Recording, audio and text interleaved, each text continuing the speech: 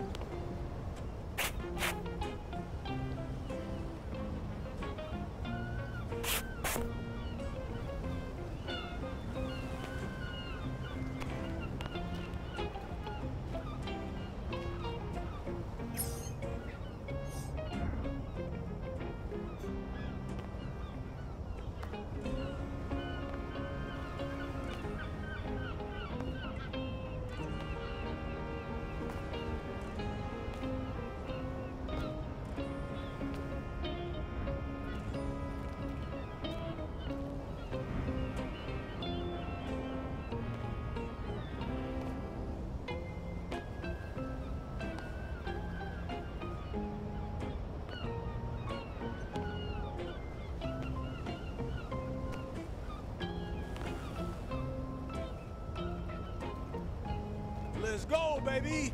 I'm him.